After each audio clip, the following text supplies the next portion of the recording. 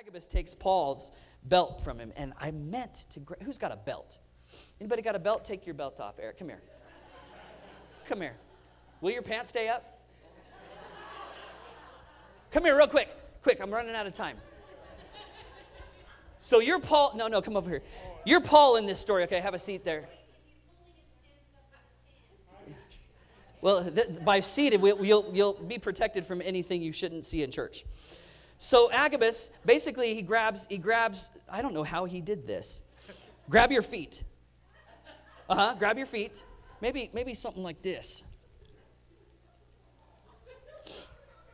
No, put your hands back in there.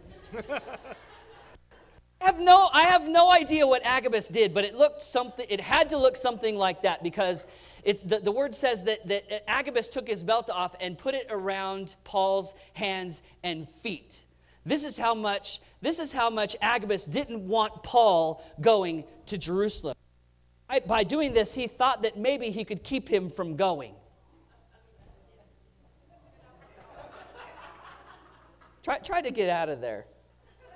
Um, there it is. Turn around. Go. Thank you. Thank you, Paul.